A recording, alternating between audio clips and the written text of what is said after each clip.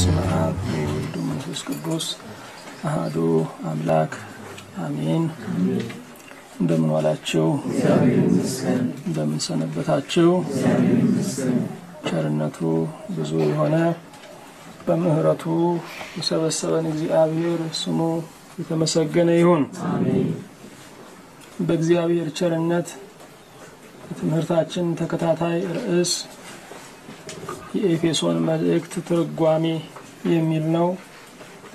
እግዚአብሔርን አጋዥ አድርገን የሰባተኛውን ቀን ትምህርታችንን እንጀምራለን። የሐዋርያው የቅዱስ ጳውሎስ መልእክት ወደ ኤፌሶን ክርስቲያኖች የተላከ ምዕራፍ አንድ ከቁጥር ስምንት እስከ ቁጥር አስራ አንድ ያለውን በጸሎት መንፈስ ሆነን እናነባዋለን። ጸጋውንም በጥበብና በአእምሮ ሁሉ አበዛለን በክርስቶስ ለማድረግ እንደወደደ እንደ ሐሳቡ የፈቃዱን ምስጢር አስታውቆናልና በዘመን ፍጻሜ ይደረግ ዘንድ ያለው ሐሳቡም በሰማይና በምድር ያለውን ሁሉ በክርስቶስ ለመጠቅለል ነው። እንደ ፈቃዱ ምክር ሁሉንም ይሰራ እንደ እርሱ ሐሳብ አስቀድመን የተወሰንን በክርስቶስ ደግሞ ርስትን ተቀበልን። ያለህና የነበርክ ለዘላለምም የምትኖር የአብርሃም አምላክ የይስሐቅ አምላክ የያዕቆብ አምላክ የእኛም አምላክ እግዚአብሔር ሆይ እናመሰግንሃለን። ክቡር ቅዱስ ተወዳጅ ግርማዊ ባለ ሞገስ እግዚአብሔር ባለ ዙፋን ጥንት የነበርክ ዛሬም ያለህ ለዘላለም የምትኖር መቼም መች የማትታጣ በአርያም የነገስህ በልባችን የምትላወስ ለቀደሙት አባቶቻችን ብርሃን ሆነህ የመራህ እኛንም በሕያውነት የጠራህ ጌታ ዳግመኛም ልትሰበስበን በክብር በደመና የምትመጣ ጌታ እናመሰግንሃለን። እኛ መጻተኞች ልጆችህ ከዚህ ከሚያልፈው ዓለም ሆነን የማያልፈውን ቃልህን እያነሳን የማያልፈውን ክብርህን እያወሳን የማያልፈውን ጌትነትህን እየዘመርን በእውነት እናመሰግንሃለን። አቤቱ ሆይ በዚህ ፈራሽ ማንነት ውስጥ የማይፈርስ ሕያውነትን ያስቀመጥክ ጌታ ክቡር ነህና እናከብረሃለን። አሁንም የዘመናት ሀሳብህን ለሰው ልጆች ያለህን ጥልቁን አስኳል መልእክትህን ለባሪያዎችህ ግለጽልን። ስለተሻለውና ከፍ ስላለው ስለላቀው በፊትህም ክብረት ስላለው ነገር መጋደልን መኖርን ስጠን። ይህንን የኤፌሶንን መልእክት ደግሞ እንድንረዳ ልቡናችንን አብራልን። ጌታ ሆይ ሰው ብዙ ቃል ቢናገር አይለውጥም፣ አንተ ግን በአንድ ቃል መላ ሕይወትን ትለውጣለህና እባክህ ተናገረን። ለጆሮአችን ሳይሆን ለልባችን አንተ ተናገረን። ከእግዚአብሔር እንደ ሰማን ሆነን መቀበል መለወጥ ይሆንልን። በአንዱ ልጅ በኢየሱስ ክርስቶስ በእርሱ ያለ ክብር ጽን ለአንተ ይገባሃል። ከመንፈስ ቅዱስም ጋር ትክክል የሚሆን ዛሬም ዘወትርም ለዘለዓለሙ አሜን። እግዚአብሔር ይመስገን። ባለፈው ጊዜ ጌታችን ኢየሱስ ክርስቶስ የነፍሳችን ቤዛና የነፍሳችን ማስተስሪያ መሆኑን ተነጋግረናል። ገንዘባችንን የከፈልንባቸው እቃዎች አሉን። ራሳችንን የከፈልንባቸው ደግሞ ወዳጆች አሉን። ኢየሱስ ክርስቶስ እንደ ዕቃ ብርና ወርቅን አይደለም የከፈለብን፣ ራሱን የከፈለብን ወዳጃችን ነው። ክብር ለስሙ ይሁን።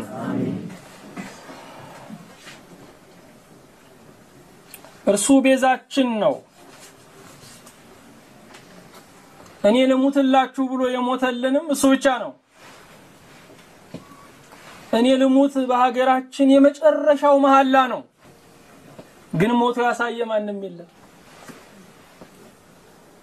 እኔ ልሙት ብሎ በመጨረሻ መሐላ በመጨረሻ ፍቅር የሞተልን እሱ ነው። ምስጋና ለስሙ ይሁን። ባለፈው ሳምንት በሚገባ ኢየሱስ ክርስቶስ ማስተስሪያችን፣ ይቅርታ ማግኛችን፣ የስርየት ምክንያታችን መሆኑን ተነጋግረናል። ዛሬ በቀጥታ ወደ ቁጥር ስምንት ነው የምንገባው። ቁጥር ስምንት እንደዚህ ይላል። ኤፌሶን ምዕራፍ አንድ ቁጥር ስምንት ጸጋውንም በጥበብና በአእምሮ ሁሉ አበዛልን ይላል። ጸጋውንም በጥበብና በአእምሮ ሁሉ አበዛልን። የበዛው ጸጋ ብቻ አይደለም፣ እውቀቱም ነው የበዛው። አንድን ነገር በመጠኑ የምናከብረው ምንነቱ ሲገባን ነው። ጸጋን እንድናከብር እግዚአብሔር ስለ ጸጋ ጥበብና እውቀትን አበዛልን። አንድ ጠቃሚ የሆነ መገልገያ ከተመረተበት ተቋም ሲወጣ አብሮት የሚወጣ ነገር አለ። አጠቃቀሙን የሚገልጥ መግለጫ።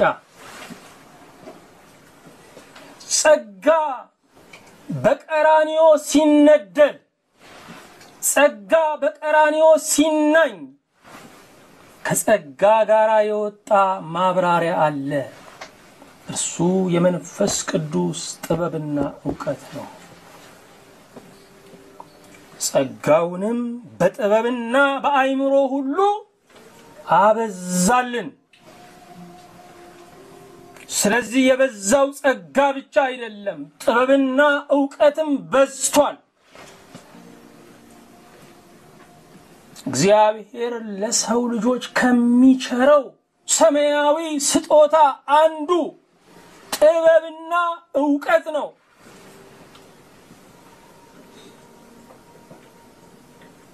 ከክርስቶስ ቤዛነት ውስጥ ጸጋን የፈለቀው ከክርስቶስ ማስተስሪያነት ውስጥ ጸጋን የተነደለው ይህንን ጸጋ በምድራዊ አእምሮ መረዳት አይቻልም። የመንፈስ ቅዱስ አብርሆት ያስፈልጋል። የእግዚአብሔርን ጸጋ የሚያብራራ የእግዚአብሔር ጥበብ ወርዷል። እግዚአብሔርን ያለ እግዚአብሔር መረዳት አይቻልም። እግዚአብሔርን ያለ እግዚአብሔር ረዳትነት ማወቅ አይቻልም።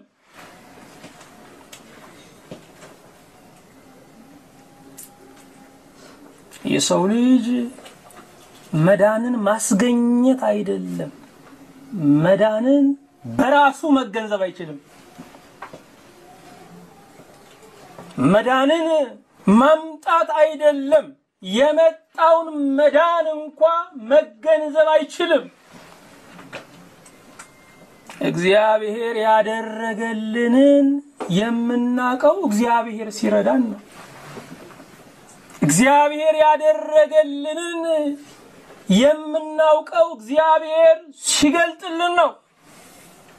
ነገር የሚገባቸው ሰዎች ወንጌል አይገባቸውም። አማርኛ ሲሰነጥቁ የሚውሉ ሰዎች የክርስቶስ ነገር ለነሱ ድፍንቅል ነው። ቅኔ አዋቂዎች የቀራኒውን ቅኔ አይረዱም።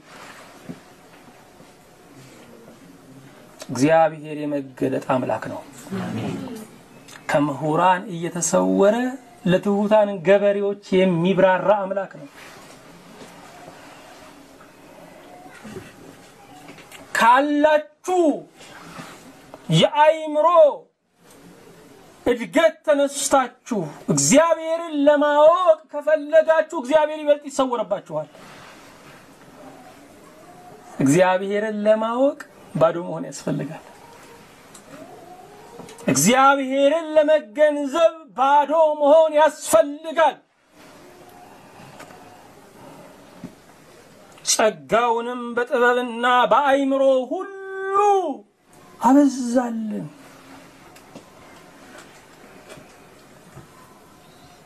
ስለ አይምሮ የክርስቶስን ማዳን የእግዚአብሔርን ጸጋ አይደርስበትም። በሳል መምህራንም አያብራሩትም።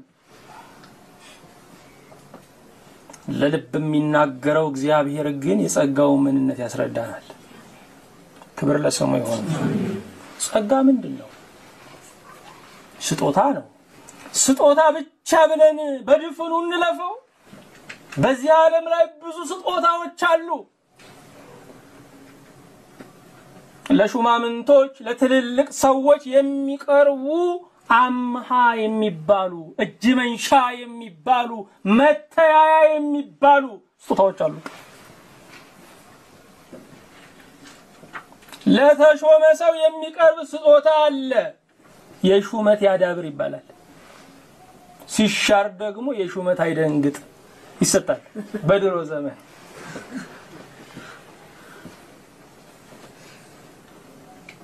ጸጋ አምሃ አይደለም። ጸጋ እግዚአብሔር ለሹማምንት የሰጠው መተያያ አይደለም። ሹም የሆነው እግዚአብሔር ለተዋረዱ ሰዎች የሰጠው ስጦታ ነው። ታላቅ የሆነው እግዚአብሔር ለታናናሽ ልጆቹ የሰጠው ስጦታ ነው። አንድ ጉበኛ የሆኑ የቤተ ክህነት ሰው ናቸው። ለምደዋል። ታዲያ ምን አሉ? ምን ክፉ ዘመን መጣብን አሉ። መቼም ዘመኑን ክፉ ነው የምንለው እንደቆምንበት ነው። ምን ክፉ ዘመን መጣብን።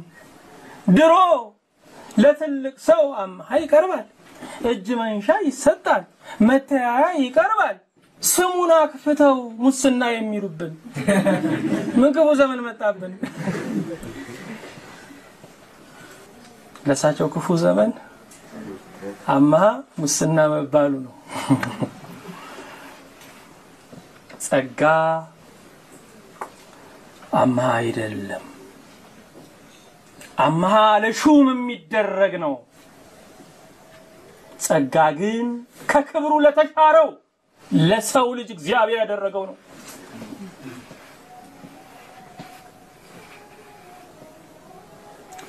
ጸጋ ሽልማት አይደለም። ላስደሰቱን ሰዎች በስራቸው ላስደሰቱን፣ በታታሪነታቸው ላስደሰቱን፣ ልከናቸው ጉዳዩን መጥተው ለመጡት ሰዎች የምንሰጠው ሽልማት አለ።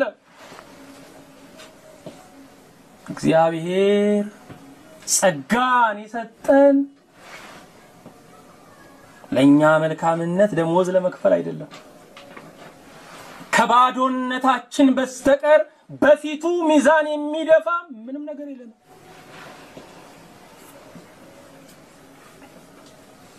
ለምንወዳቸው በጣም ለምናፈቅራቸው የምንሰጠው ስጦታ አለ። እነሱም በመወደዳቸው ልባቸው የሚኮራበት ለካ ተፈላጊ ነኝ የሚሉበት።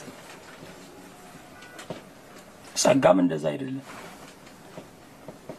እግዚአብሔር በኃጢአት ምክንያት ጠላቶቹ ለሆኑ ለሰው ልጆች ያደረገው ቸርነት ነው። ለልጅ ለወዳጅ አይደለም። ከዲያብሎስ ጋር አብሮ የእግዚአብሔርን መንግስት ለመገልበጥ ለሞከረ ለሰው ልጅ የተደረገ ስጦታ ነው። ታዲያ ጸጋ ምንድን ነው? ለማይገባቸው የተደረገ የፍቅር ስጦታ ነው። ለማይገባቸው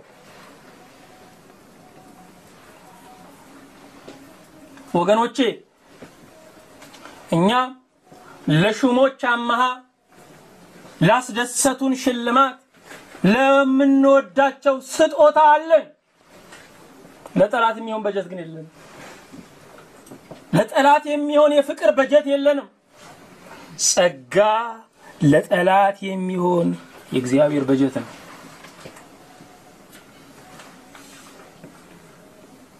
ጸጋ ለጠላት የሚሆን የእግዚአብሔር ምንድን ነው? በጀት ነው። እግዚአብሔር ይመስገን። ጸጋውንም በጥበብና በአእምሮ ሁሉ አበዛልን። በምድራዊ አእምሮ በምድራዊ አእምሮ ይህንን ጸጋ መረዳት አይቻልም። በምድራውያን መምህራን ማብራሪያ ይህንን ጸጋ መረዳት አይቻልም። ስለዚህ እግዚአብሔር የራሱን ጸጋ እንዲያብራራለት የራሱን ጥበብና እውቀት በምድር ላይ አፈሰሰ። ክብር ለስሙ ይሁን። ጸጋውንም በጥበብና በአእምሮ ሁሉ አበዛልን። ብዙ ሰዎች ብዙ ማወቅ ጥሩ አይደለም፣ እንደው የመንፈሳዊ ነገር እንደው ጥልቅ ማለት ጥሩ አይደለም፣ እንደው እንደ ድሮ እንደ እናቶቻችን እንደ አባቶቻችን መኖሩ ነው የሚሻለው ይላሉ። ወገኖቼ ትክክለኛ እውቀት ከሌለ ትክክለኛ እምነት ሊኖር አይችልም።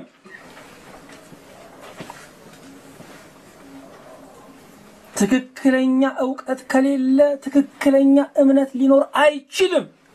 በትክክል ካላወቅን በትክክል ማመን አንችልም። እምነት ከመስማት ነው፣ መስማትም በእግዚአብሔር ቃል ነው ነው የሚለው። እምነት የሚወለደው ከመስማት ውስጥ ነው። የምንሰማው ሁሉ ግን የእምነትን ልደት አያመጣም። የእግዚአብሔር ቃልን ስንሰማ እምነት ይወለዳል። የእግዚአብሔርን ቃል ስንሰማ እምነት ይወለዳል። ስለዚህ እውቀት አስፈላጊ ነው። እግዚአብሔርን ካላወቅ ነው ማን ብለን እናምነዋለን? እግዚአብሔርን ካላወቅ ነው ማን ብለን እናመልከዋለን?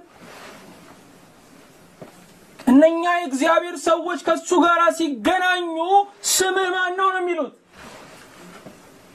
ስሙን ካላወቁ ማን ብለው ያመልኩታል? ወገኖቼ እግዚአብሔር ብርሃን ነው። በመታወቅ ነው የሚመለከው። በመጋረጃ የሚመለኩ አጋንንት ናቸው። ግን በሀገራችን ብዙ አይነት ባዕድ አምልኮዎች አሉ አይደለ? እኛ ኢትዮጵያውያን በእውነት ልዩ ነን ነው የምንለው። በእውነት በአንዳንድ ነገሮች ልዩ ነን። የሚደንቃችሁ በዓለም ላይ የሌለ እንደ የአጋንንት ስምም እኛ ሀገር ነው ያለው። በሱም ልዩ ነን። ውቃቢ ዛር የሚባል ነገር እኮ በዓለም አትሰሙ። በዛም ልዩ ነን። ታዲያ አምልኮ ባዕዱን ብታዩ በብዙ መጋረጃ ተጋርዶ ነው የሚመለከው። ሰይጣን ጨለማ ነው፣ በመጋረጃ ነው የሚመለከው። ታውቆ የሚመለክ ብርሃን የሆነው እግዚአብሔር ብቻ ነው።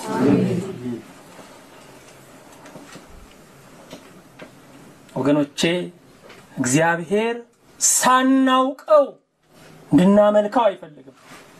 አውቀነው እንድናመልከው ነው የሚፈልገው። ሕዝቤ እውቀት ከማጣቱ የተነሳ ጠፍቷል ነው የሚለው። ትንቢት ከማጣቱ የተነሳ አልጠፋም ሕዝቡ። መገለጥ ከማጣቱ የተነሳ ሕዝቡ አልጠፋም። እውቀት ከማጣቱ የተነሳ እውቀት ከማጣቱ የተነሳ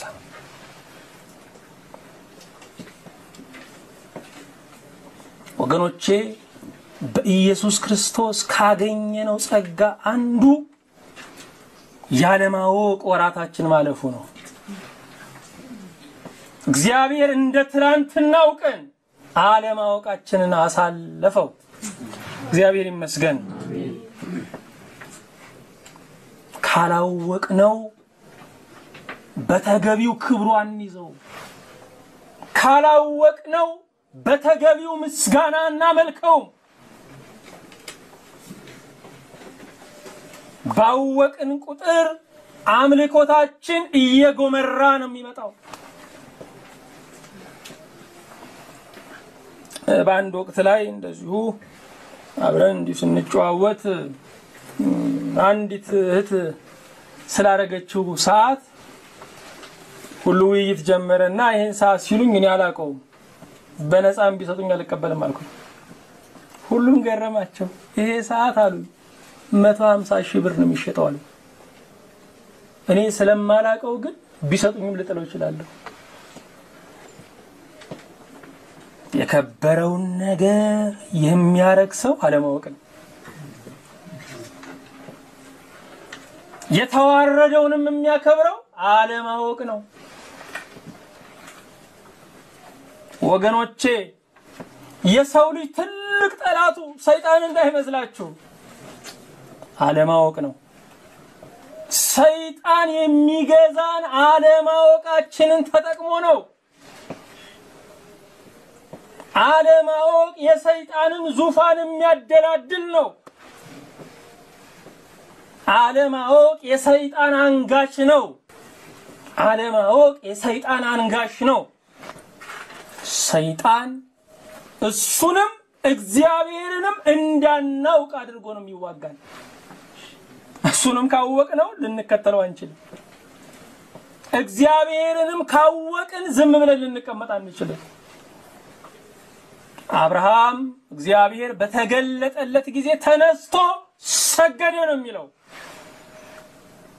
እግዚአብሔር ሲበራልን መቀመጥ የለም፣ ተነስተን እንሰግዳለን። ክብር ለስሙ ይሁን። ጸጋውንም በጥበብና በአይምሮ ሁሉ አበዛልን። ምን ማለት ነው? ይሄ ጸጋ ልንገነዘበው የሚያስፈልግ ምንድን ነው? ጸጋ ነው። ልንገነዘበው ልናውቀው የሚያስፈልግ ነው። ወገኖቼ ሃይማኖት የምንለው ነገር ክርስትና የምንለው ነገር እግዚአብሔርንና ያደረገልንን ማወቅ ነው። ይኸው ነው። ምንም ውስብስብ ነገር የለውም። የሊቃውንት ማብራሪያ ያስፈልገው እግዚአብሔርንና ያደረገልንን ማወቅ እሱ ክርስትና ነው።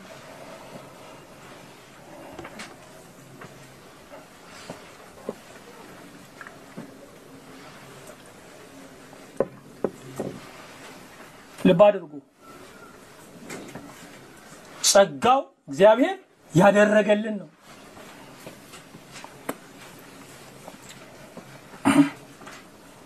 ክርስትና እግዚአብሔርንና ያደረገልንን ማወቅ ነው ማወቅ ነው። እግዚአብሔርን ማወቅና ስለ እግዚአብሔር ማወቅ ልዩነት አለው። ለአብዛኛዎቻችሁ ቀዳማዊ ኃይለ ሥላሴን ማወቅና ስለ ቀዳማዊ ኃይለ ሥላሴ ማወቅ በጣም ልዩነት አለው። በጣም ልዩነት አለው። አብዛኛዎቻችሁ ስለ ቀዳማዊ ኃይለ ሥላሴን የምታውቁት ኃይለ ሥላሴን በዓይናችሁ አላያችሁም፣ ድምፃቸውን አልሰማችሁም፣ ከእጃቸው ከነማን ናቸው ከነ አባህና እጅ አንድ ብር አልተቀበላችሁም።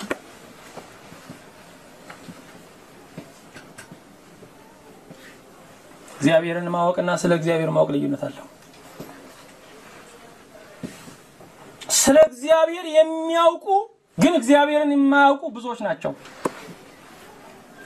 እግዚአብሔርን በትረካ መንገድ የሚያውቁ ፍቅሩን ያልቀመሱ፣ ያላጣጣሙት፣ ራሳቸውን ያልሰጡት፣ ባደረገላቸው መጠን ልባቸውን ያልከፈቱለት ብዙዎች ናቸው። አንድ ሰው ሲነግረኝ በስነ መለኮት ትምህርቱ ትልቅ ደረጃ ላይ ደርሷል። ታዲያ ሁለተኛ ዲግሪውን እየሰራ ባለበት ጊዜ ሐዲስ ኪዳንን ያስተማረውን ሰው መቼም እንደማይረሳው ነገረኝ። ሐዲስ ኪዳንን እንድረዳ ያደረገኝ እሱ ነው አለ። ግን ያ ሰው አርባ አርብ ክፍሉን አቋርጦ ወጥቶ ሶላት ሰግዶ ይመለሳል። ስነ መለኮትን የሚያስተምሩ አዲስ ኪዳንን ፍትፍት አድርገው የሚያበሉ ብዙ ሙስሊሞች አሉ።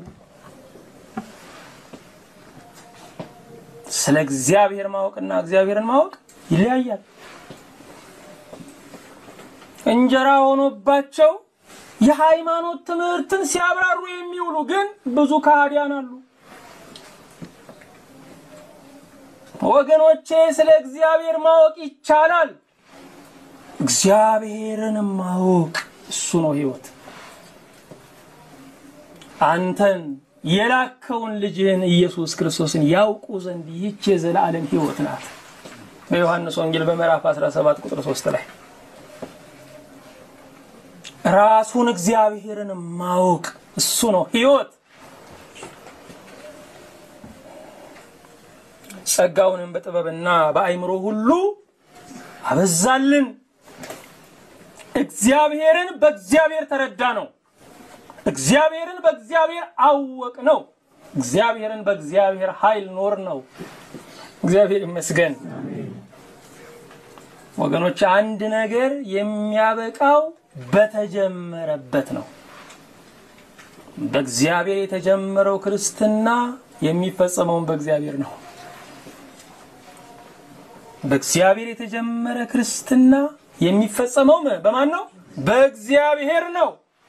በእግዚአብሔር ሩጫውን ያስጀመረው ሰውዬ ድል ብሎ የሚቆጥረው ሩጫውም እሱ ጋር ሲፈጸም ነው። ያስጀመረን ጋር ስንፈጽም እሱ ክርስትና ነው። ብዙ ሰው በመንፈስ ጀምሯል፣ በስጋ እየጨረሰ ነው። ብዙ ሰው ከእግዚአብሔር ጋር ጀምሯል፣ ከሰው ጋር እየጨረሰ ነው።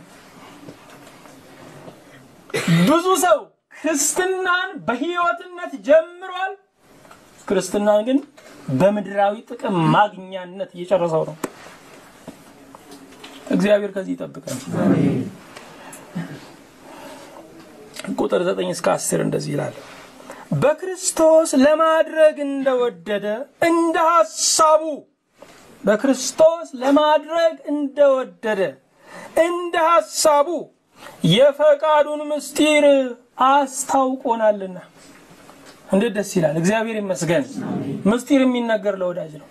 የፈቃዱን ምስጢር አስታውቆናልና በዘመን ፍጻሜ ይደረግ ዘንድ ያለው ሐሳቡ በሰማይና በምድር ያለውን ሁሉ በክርስቶስ ለመጠቅለል ነው። እግዚአብሔር ይመስገን። የመጨረሻው ጠቅላይ ገዢ እሱ ነው። ዓለም በአጥቢያ ተከፋፍላ የዚህ ሀገር ንጉሥ፣ የዚህ ሀገር ንጉሥ፣ የዚህ ሀገር ንጉሥ፣ የዚህ ሀገር ፕሬዝደንት፣ የዚህ ሀገር ጠቅላይ ሚኒስቴር እነኚህ ሁሉ ይሻሩና የነገስታት ንጉሥ ኢየሱስ ክርስቶስ አባ ጠቅል ሆኖ ለዘላለም ይገዛል። የመጨረሻው እሱ ነው። መጨረሻ ምን ይሆን ነው የምንለው አይደለም? የታወቀ እኮ ነው። መጨረሻችን ክርስቶስ ነው። በክርስቶስ ለማድረግ እንደወደደ እንደ ሐሳቡ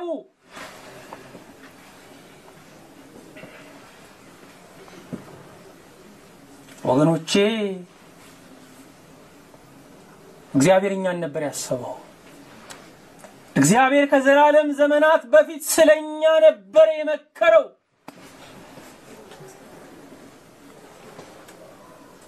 እግዚአብሔር እኛን እንዲያድነን ማንም ሐሳብ አላቀረበለትም። አንዳንድ ጊዜ የምናደርገው ይጠፋንና ሰዎች ሐሳብ ያቀርቡልናል፣ ያነቁናል።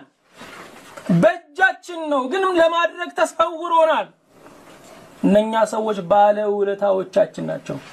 እግዚአብሔርን ያነቁት ባለውለታዎች ግን የሉ። እግዚአብሔር በራሱ ስለኛ አሰበ። እግዚአብሔር በራሱ ስለኛ አሰበ። ማንም አልመከረውም እኛን እንዲያድን። የገዛ ፍቅሩ ግድ አለው። የገዛ ምሕረቱ ግድ አለው።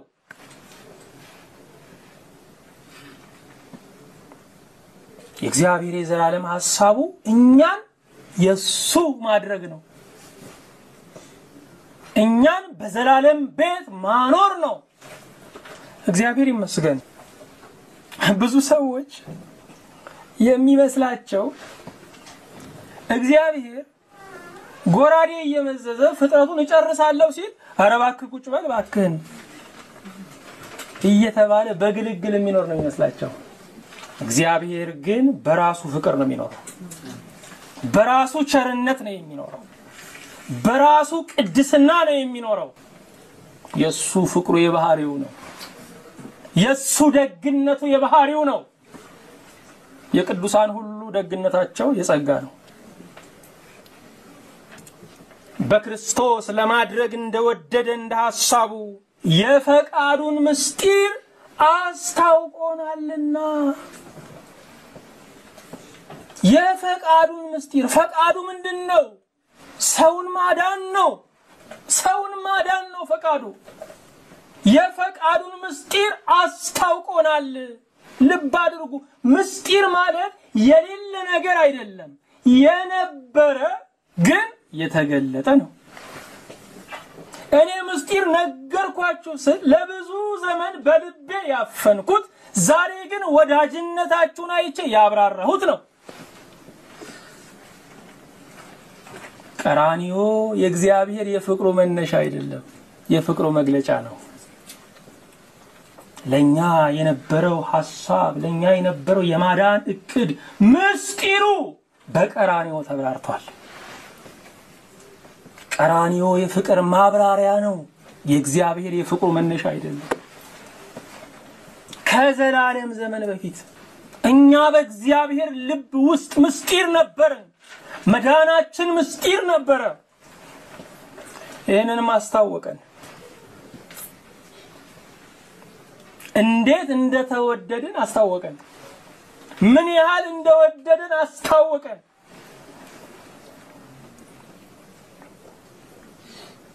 ፍቅሩ ሲገባን ሞተልን እንዴ? እስክንረዳው ጠብ ሞተልን እንዴ? ስራውን ፈጸመ። ያደረግኩላችሁ ይሄ ነው አለ። በዘመን ፍጻሜ ይደረግ ዘንድ ያለው ሐሳቡም በሰማይና በምድር ያለውን ሁሉ በክርስቶስ ለመጠቅለል ነው።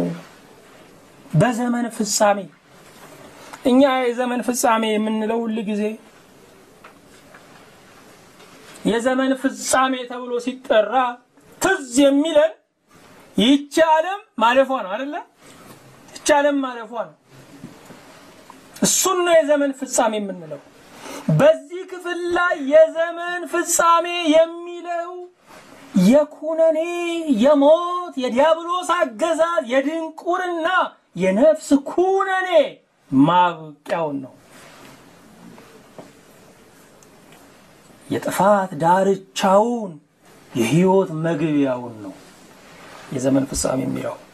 ቀራኒዮን ስንመለከት ለዓመተ ኩነኔ ድንበር ነው። ለዓመተ ምሕረት መነሻ ነው። የኩነኔ ቁጥር ያበቃበት ዜሮ የሆነበት ምሕረት አንድ ተብሎ የተተረከበት ነው። ስለዚህ ያለነው በዘመን ፍጻሜ በዓመተ ምሕረት ነው። እግዚአብሔር ይመስገን። በዘመን ፍጻሜ ይደረግ ዘንድ ያለው ሐሳቡም በሰማይና በምድር ያለውን ሁሉ በክርስቶስ ለመጠቅለል ነው። እግዚአብሔር የእቅድ አምላክ ነው። ልብ አድርጉ። አንድ እዛ ሩቅ አገር ያለ መንግስት ሩቅ አገር ወዳለ ሀገር መልእክተኛ የሚልከው ሰራዊት የሚልክበት የራሱ የሆነ እቅድ አለው። የራሱ የሆነ ዓላማ አለው። እግዚአብሔር ከሰማይ ወደ ምድር ልጁን ሙትላቸው ብሎ ያ ያ መንግስት ጦር ነው የሚልከው፣ እየገደል ካስገብርልኝ ነው የሚለው። ያ መንግስት አንድ ዲፕሎማት ነው የሚልከው፣ አንተን ያከበረ እኔን ያከበረ ብሎ ሙትላቸው ብሎ አንድ ልጁን ከሰማይ ወደ ምድር የላከበት ዓላማው ምንድን ነው ስንል በሰማይና በምድር ያለውን ሁሉ በክርስቶስ ለመጠቅለል ነው። በክርስቶስ ለመጠቅለል ነው። እግዚአብሔር ይመስገን። መጠቅለል የሚለው ነገር በድሮ አጠራር የበጌ ምድር ጠቅላይ ግዛት፣ የጎጃም ጠቅላይ ግዛት፣ የሐረርጌ ጠቅላይ ግዛት ይባል ነበር። መጠቅለል ስልጣንን የሚያመለክት ቃል ነው። አባ ጠቅል ይባላሉ። ማን ናቸው? ቀዳማዊ ኃይለ ሥላሴ። ምክንያቱም ዳር ድንበሩ ሁሉ ስለገበረላቸው ሰማይና ምድር የገበሩለት ኢየሱስ ክርስቶስ አባ ጠቅል ነው። የእግዚአብሔር ሐሳቡ በሰማይና በምድር ያለውን ስልጣን ሁሉ ከእርሱ እግር በታች ለማድረግ ነው። በዘመን ፍጻሜ እግዚአብሔር ይናደረገ። ስለዚህ አሁን ንጉሳችን እግዚአብሔር ነው። በሰማይና በምድር ያለው ገዢ ኢየሱስ ክርስቶስ ነው። በሚታዩ መንግስታት የሚታዩ መንግስታት ባሉበት ዓለም ላይ የማይታይ መንግስት አለ፣ የማይወድቅ መንግስት አለ። እሱም የክርስቶስ መንግስት ነው። በዘመን ፍጻሜ የኩነኔ ፍጻሜ የህይወት ጅማሬ የእስራኤል ልጆች አመት የአመትን አቆጣጠር ያስለወጣቸው አንድ ታሪክ ተከሰተባቸው።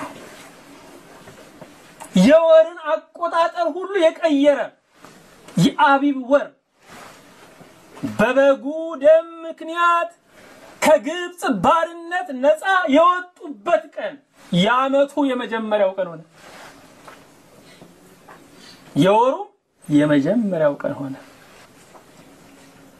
የሚቆጠረው የኖሩበት ዘመን ከሆነ ልንቆጥር የሚገባው ህይወት የሆነውን ክርስቶስን ካገኘንበት ቀን አንስቶ ነው። እሱ የአመቱ መጀመሪያ ነው። እሱ የወሩ መጀመሪያ ነው። እግዚአብሔር ይመስገን። ግብፃውያኑ የግብፅ ክርስቲያኖች አንድ ልማድ አላቸው። የአንድን ሰው የህይወት ታሪኩን ልደቱን የሚቆጥሩት ከተጠመቀበት ቀን አንስቶ ነው። በዚህ ቀን ተጠመቀ ነው። ስለዚህ ለክርስትናቸው ቆረጥ ያሉ ናቸው። የእኛ ደግሞ በአማራ ሳይንት፣ በበጌ ምድር አውራጃ፣ በደቡብ ክልል በዚህ ቀን ተወለደ ነው የምንጠቅሰው። መልክዓ ምድር ነው። ያው መሬት ለመሬት ነው ኑሯችንም። አዎ አዎ ዘመን ከተቆጠረ ክርስቶስን ካገኘንበት ጊዜ አንስቶ እሱ ለሰይጣን የዘመን ፍጻሜ ለእኛ የህይወት ጅማሬ ነው። ያ ቀን ያ ቀን ለአንዱ ፍጻሜ ለአንዱ መነሻ ነው። በሰማይ በምድር ያለውን ሁሉ በክርስቶስ ምን ለማለት ነው? ለመጠቅለል ነው። ለመጠቅለል ነው። አስተውሉ ወገኖቼ። በእውነት ይሄ ቃል ሲነገር መላእክት ቢሆኑ እንደናንተ ተቀምጦ አይሰሙ ወገኖቼ። አክሊላቸውን አውርደው ነው መጽሐፉ ይህን ነው። አክሊላቸውን እየተንቀጠቀጡ ነው፣ እየሰገዱ ነው። ግን ማህበሩ የኛ ነው፣ ጥዋው የኛ ነው። የታረደው ለመላእክት አይደለም፣ ለእኛ ነው፣ ለእኛ ነው። ባለጌ ደጋሽ በድግሷ ላይ አኩርፋ ትቀመጣለች። ሰው ሁሉ ደስ ደስ ሊለው ይሞክርና እሷን ሲያይ ጸጥ ይላል። እንደ ባለጌ ደጋሽ በገዛ ድግሳችን እንዴት ዝም እንዳለን። መላእክት ለታረደው በግ ክብር ይሆን እያሉ እንዴት ወገኖች ዝም እንላለን? ሁሉም ነገር ሳይገባን ቢቀር ይሄ ቢብራራልን ይሄ ነው የኛ የህይወት ታሪካችን። ሰዎች አንዳንድ ጊዜ ከልምዳቸው እንዲነግሩን እንፈልጋለን። ጥሩ ነው የሰውን ልምድ መቅሰም። ከሰው ልምድ ውስጥ መመሪያ ይወጣል። ግን መመሪያ ለማክበርም ህይወት ያስፈልጋል ወገኖች። ያልዳነ ሰው ህይወት የሌለው ሰው መመሪያንም ማክበር አይችልም። በክርስቶስ ለመጠቅለል ነው። በፊልጵስዩስ ምዕራፍ ሁለት ቁጥር 9 እስከ 11 ላይ ፊልጵስዩስ ምዕራፍ 2 ቁጥር 9 እስከ 11 ላይ እንዲህ ይላል። በዚህ ምክንያት ይላል ከላይ ክርስቶስ ያለ ልክ እንደተዋረደ ይናገራል። ያለ ልክ ከተዋረደ ምላሹ ያለ ልክ መክበር ነው። ያለ ልክ ከፍ ከፍ ማለት ነው። በዚህ ምክንያት ደግሞ እግዚአብሔር ያለ ልክ ከፍ ከፍ አደረገው። ከስምም ሁሉ በላይ ያለውን ስም ሰጠው። ወገኖቼ በዓለም ላይ ስም አይበላለጥም። የአንዳችን ስም ከአንዳችን ስም በምንም አይበልጥም። የኢየሱስ ክርስቶስ ስም ግን ከተጸውኦም ከማዕረጋ ስምም በላይ ነው። ገዢ ስም ነው። ሕይወት ሰጪ ስም ነው። ቋጠሮን የሚፈታ ስም ነው። የኢየሱስ ክርስቶስ ስም ስሙ ኢየሱስ ነው። አማኑኤል እግዚአብሔርነቱን፣ ክርስቶስ ሰውነቱን ያብራራል። ኢየሱስ ግን መለኮትና ትስብእት መለኮትና ሰውነት የተዋሃዱበት የተዋህዶ ስም ነው።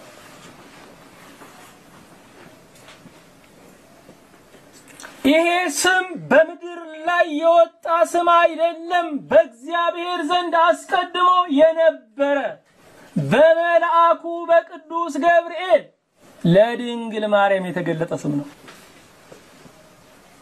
ይሄንን ስም ላለመጥራት ጥግ ጥጉን ነው የምናየው፣ ድንበር ድንበሩን። ስሙ ኢየሱስ ነው። ኢየሱስ ማለትም መድኃኒት ማለት ነው። ከምን የሚያድን ስንል ከኃጢአት የሚያድን ማለት ነው።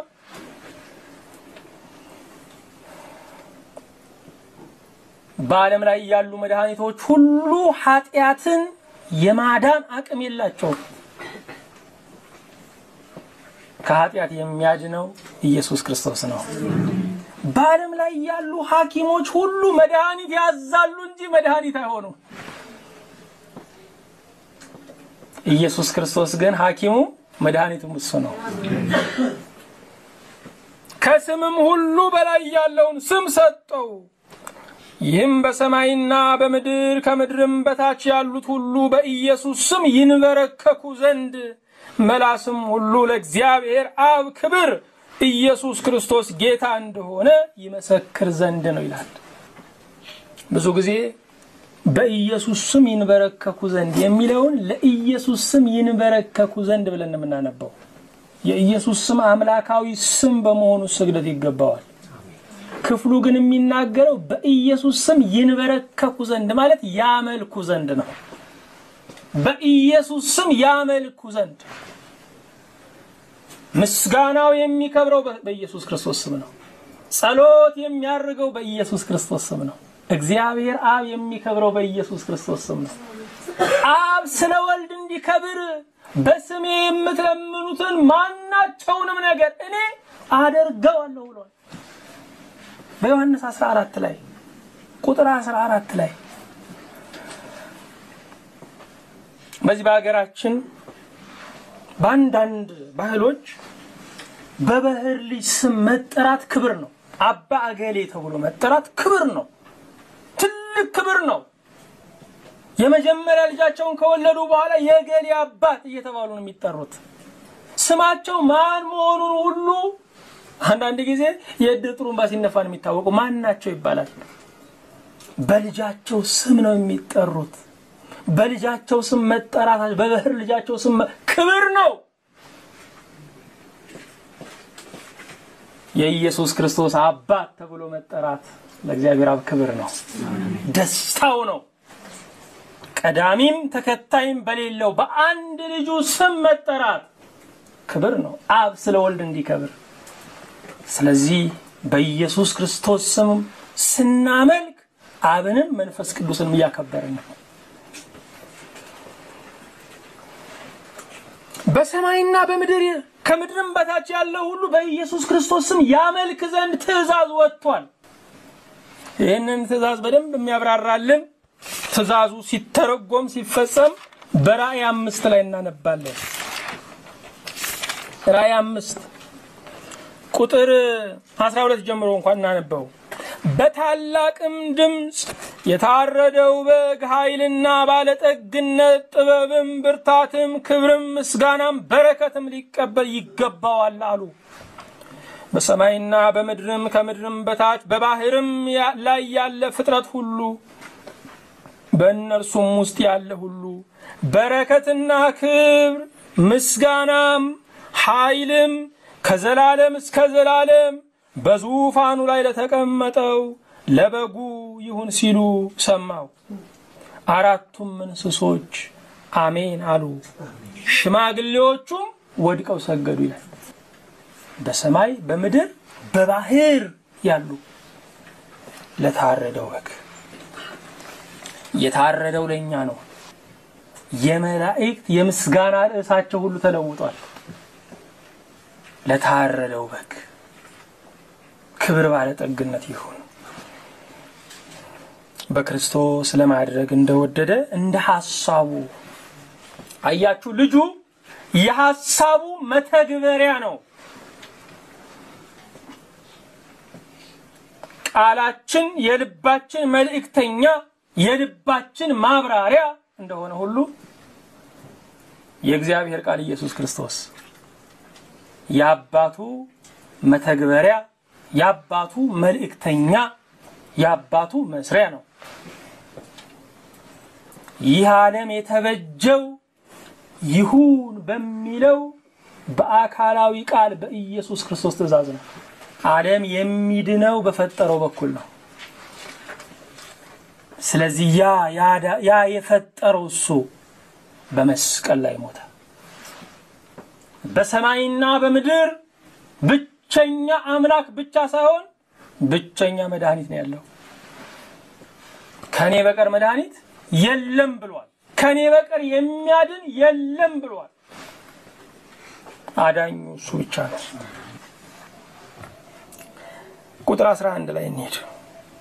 እንደ ፈቃዱ ምክር ሁሉን የሚሰራ እንደ እርሱ ሐሳብ አስቀድመን የተወሰንን በክርስቶስ ርስትን ተቀበል። ቁጥር 12 ይኸውም በክርስቶስ አስቀድመን ተስፋ ያደረግን እኛ ለክብሩ ምስጋና እንሆን ዘንድ ነው። እንደ ፈቃዱ ምክር አሸናፊ ምክር ነው። ገልባጭ ምክር ነው። ብዙ እንመክራለን፣ በልባችን ብዙ እንማከራለን፣ ከሰዎች ጋር ብዙ ይመክሩብናል። የሚጸናው ግን የሥላሴ ምክር ነው። በእውነትም እኔም የመከርኩት አይሁን እናንተም የመከራችሁልኝ አይሁን፣ ባላጋራዎችም ቢኖሩ እንኳ የመከሩብኝ አይሁን፣ እግዚአብሔር የመከረው ይሆን። ስለዚህ ወገኖቼ ሰዎች ክሱን ሲጽፉ ይዋሉ፣ እሱ ካልፈረመበት ዋጋ የለው። ከምክራቸው ጋር እግዚአብሔር ካለበት ነው የሚያስፈራው። ብቻውን የመከረ አትፍሩ። ጊዜን ተማምኖ የመከረውን አትፍሩ። ምድራዊ አቅምን ተመክቶ የመከረውን አትፍሩ። የሚያስፈራው እግዚአብሔር ያለው ሰው ነው። ብዙ ጊዜ የምነግራችሁ ነው። እዚች ወጣ ብሎ በአንድ ሆቴል ውስጥ ሰዎች ሲጣሉ ያለው ትልልቅ ሰዎች ናቸው። በቋንቋችን በአጠራራችን ትልቅ በምንለው መስፈርታችን።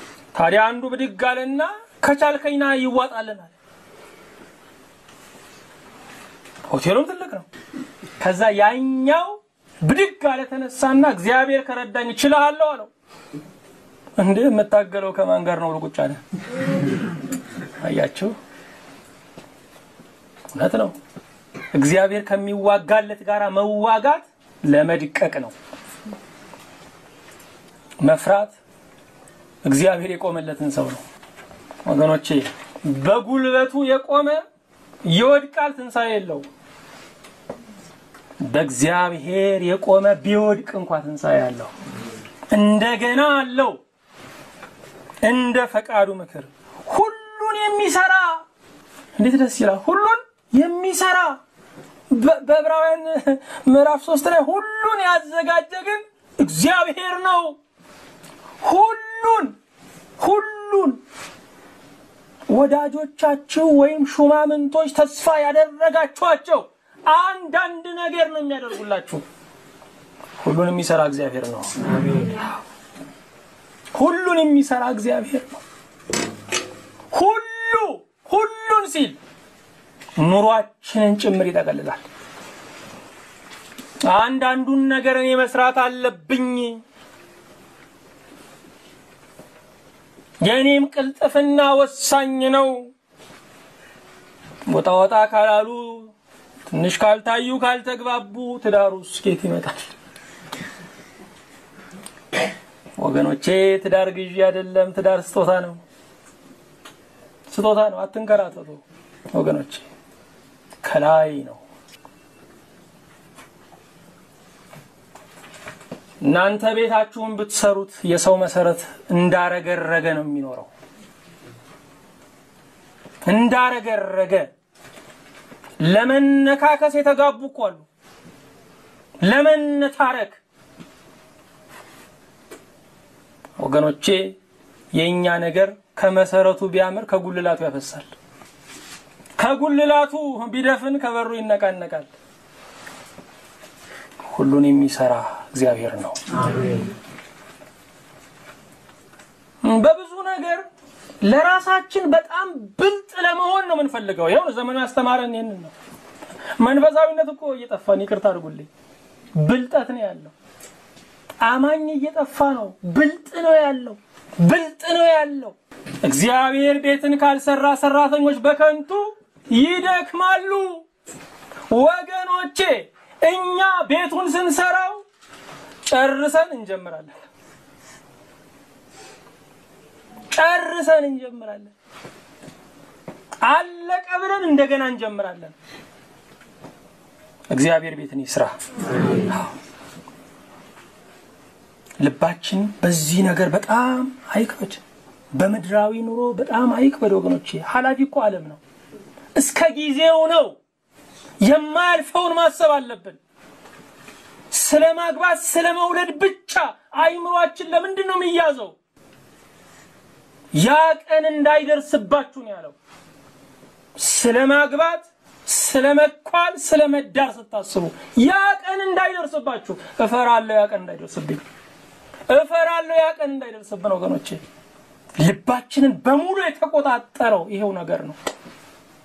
ኢየሱስን ለዘላለማዊ ሕይወት የሚፈልገው ጥቂት ነው። ለአስቤዛ ኑሮ መሟላት ነው። ለእሱ ጠንከራችሁ ከሰራችሁን በቂ ነው። የምድራዊ ጎጇችሁን ለማቆም ከሆነ ጌታን የምትፈልጉት ምን ነው ወገኖች? አሳነሳችሁት ክርስቶስ። እሱ የዘላለም ንጉሳችን ነው። ይኸውን እንዲነገርልን የምንፈልገው ይሄ ነው። ስለ እሱ ቢወራ ስለ ምድር ነገር ቢወራ መባረክ ስለሚ ጆሮቻችን ይነቃሉ። ቀራኔው ላይ የተኛን ንብረት ላይ ከነቃን ወገኖች ክርስትናው እኮ ሞት አፋፍ ላይ ነው ያለው። ቤተ ክርስቲያንን አካሉ ያደረገበትን ፍቅር እየረሳን ስለ ትዳር ትንተና ሲወራ ጆሮቻችን ከነቁ ቤተ ክርስቲያን ዘላለማዊ ሳይሆን ዘመናዊ ትሆናለች። ሁሉን የሚሰራ ግን እግዚአብሔር ነው። እንጀራም የሚቆርስ እሱ ነው ወገኖች፣ ኑሮንም የሚያደላድል እሱ ነው። ለምንድን ነው የምትጨነቁት? ለምንድን ነው የምትሰጉት? እንደምትፈልጉት ባትኖሩ እንደፈቀደው ግን እየኖራችሁ ነው። የፈቀደው መልካም ነው። የፈቀደው መልካም ነው በሉ በሉ እስቲ አዎ እግዚአብሔር የሚያረካ ነገር አይሰጣችሁም። ራሱን እርካታ የሚሆንላችሁ ይህን ባገኝ እርፍ እንዳለን አይደለም። ማረፍ እሱም በማግኘት ነው ወገኖች። ምንም አያሳርፍም። የዚህ ዓለም መልሱ በራሱ ጥያቄ ነው። ትዳሩን መልስ እንለዋለን፣ ራሱ ጥያቄ ነው። ልጁ ራሱ ጥያቄ ነው። ንብረት ራሱ ጥያቄ ነው። የዚህ ዓለም መልሱ ራሱ ጥያቄ ነው። ሙሉ መልስ ኢየሱስ ክርስቶስ ብቻ ነው። እንደ ፈቃዱ ምክር ሁሉን የሚሰራ እንደ እርሱ ሐሳብ አስቀድመን የተወሰንን በክርስቶስ ደግሞ ርስትን ተቀበልን። ይሄ ርስት የሚለውን ነገር እስቲ ትንሽ እንየው። ርስት ዛሬ ምን ርስት አለ? አይገባንም። ብዙ ምን አለ? ብዙ ነገር ኮንትራት ነው። ያው ምን መሬቱም ጠበበ፣ የምንኖረው ያው በፎቅ ነው እንደ ጦጣ በገደል። ብዙ ርስት አይገባንም።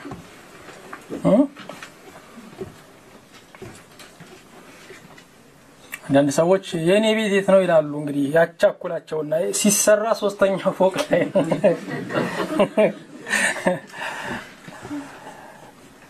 አዎ ወገኖቼ፣ ርስት አዲስ አበባ ርስት ነች። ዳግማዊ ምኒልክ ለአድዋ ተመላሾች የደም ዋጋ አድርገው አምስት መቶ አምስት መቶ ካሬ ሰጡ። የደም ርስት ሆና የተሰጠችው ርስት ነች። ርስት የደም ዋጋ ነው። አገራቸውን ላስከበሩ በደም ጠብታ ምድራቸውን ለተወዳጁ መንግስታቸውን ላስከበሩ የሚሰጥ ነው። በክርስቶስ ደም መንግስተ ሰማያት ርስት ሆናለች። ታዲያ ርስቱ ሲጻፍ ባለቤት ይልና ክርስቶስ ከስር ወራሽ እገሌ ነው እገሊት ነው። እግዚአብሔር ይመስገን። የርስቱ ስም በሱ ነው በሱ ነው በሱ ነው። ርስትን ተቀበልን። ከርስት አለመነቀል በድሮ በጣም የጸና ነው።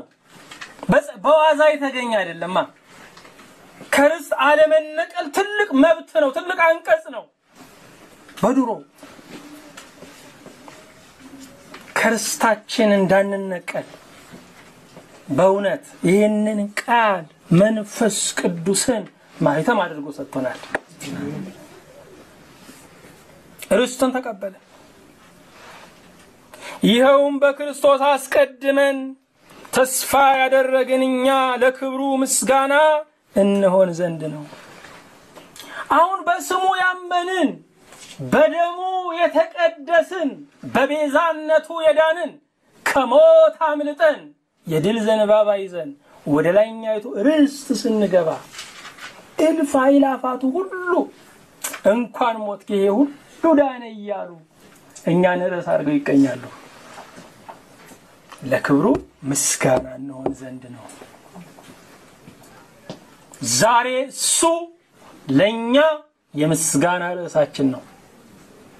ጉዟችንን ስንጨርስ ደግሞ መዳናችን፣ በሰላም መጠቅለላችን፣ በሰላም ወደ ርስታችን መከማቸታችን የመላእክት የምስጋና ርዕስ ነው። እግዚአብሔር ይመስገን። ያን ቀን ይሄው ያዳንኳቸው ይላል በሚወዱት ቅዱሳን መላእክት ይሄው የሞትኩላቸው፣ ይሄው ያለ ልክ የተዋረድኩላቸው፣ ያለ ልክ ከፍ ከፍ ብለዋል። እግዚአብሔር ይመስገን። ያ ሊቀ ካህናት የብሉይ ኪዳኑ ልብሱ ላይ ቀሚሱ ላይ የሚደርበው ኤፉድ በፍታው ላይ የአስራ ሁለቱን ነገድ እስራኤል ስም ዝርዝር የያዘ ስድስት በዚህ ጋር ስድስት በዚህ ጋር የእንቁ ፈርጥ በእንቁ ፈርጥ ደግሞ የእያንዳንዱ ነገድ ስም የተጻፈበትን በደረቱ ላይ ያደርጋል። ያንን በደረቱ ላይ አድርጎ እግዚአብሔር ወዳለበት ወደ ቅድስተ ቅዱሳኑ ሲገባ የእስራኤል አምላክ እግዚአብሔር የእስራኤልን ስም ዝርዝር ከሊቀ ካህናቱ ደረት ላይ ያነበዋል። ስለ ኃጢአታችን መስዋዕት የሆነው ታላቁ ሊቀ ካህናት ኢየሱስ ክርስቶስ ታላቁ ሊቀ ካህናት ኢየሱስ ክርስቶስ የደሙን ዋጋ ይዞ ወደ ላይኛይቱ መቅደስ ሲገባ በወርቅ ቀለም በኢየሱስ ልብ ላይ ተጽፈን አባነበበን። ያለነው እሱ ልብ ላይ ነው። እግዚአብሔር በልጁ በኢየሱስ ክርስቶስ የፍቅር ልብ ላይ የእያንዳንዳችንን ስም አግኝቶታል። እንደ ልጁ ተቀብሎናል። ክብር ለስሙ ይሆን።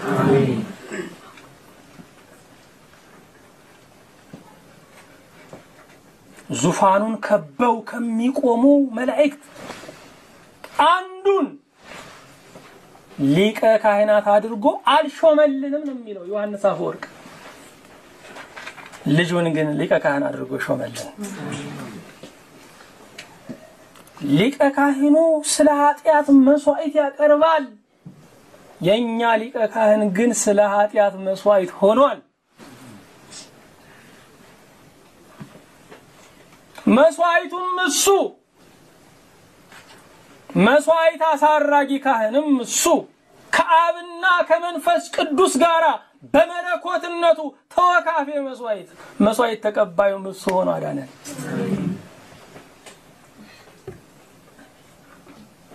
ይህን ነገር ወገኖቼ ብንተርከው ብንተርከው ማብቂያ የለው።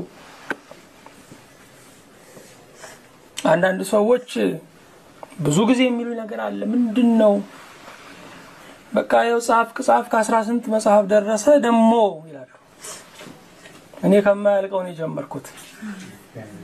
ገና ነው ገና ነው። ምኑ ተጽፎ ምኑ ተነግሮ ነው በቃ የሚያሰኘው?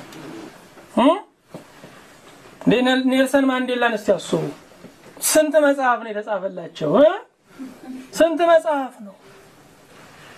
ምንድን ነው እርግጡን እኮ ስናየው ዛሬም መገረፉ ቀረ እንጂ ዋና ዋናው እኮ የፈረንጆቹን አሁንም እዛ ሀገር ብትሄዱ ዋና ዋናው ጠቀም ጠቀም ያለው የፈረንጆቹ ነው። የቀረው መገረፉ ነው። የቀረው ስቃዩ ነው። ሙሉ ነፃነታችንን ላበሰረ ለክርስቶስ። ስንት ቢጻፍ ስንት ቢነገርስ? እንደምናውቃቸው ሰዎች ስለ ቼኮ ቬራ እኮ ዘመናቸውን በሙሉ መድበው ሲናገሩ አልሞቱም እንዴ?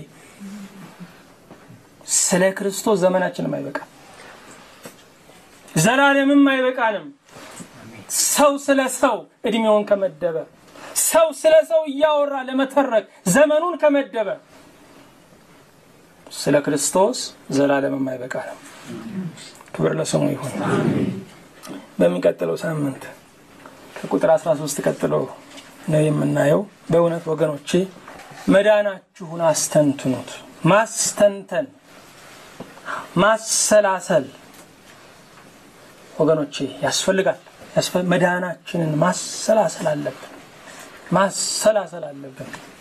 የነፍሳችሁን ጥያቄ የመለሰ እሱ የስጋችሁንም ጥያቄ እሱ ይመልሳል። ለዘላለሙ አምናችሁት ለጊዜው ምን ነው ተጠራጠራችሁት? ለማያልፈው ድንበር ለሌለው ዓለም አምናችሁት ለዚች ለአራት በአራት ጎጇችሁ ለምንድን ነው የሰጋችሁት? ሁሉን የሚሰራ እሱ ነው። ክብር ይሁን። እግዚአብሔር ይባርካችሁ።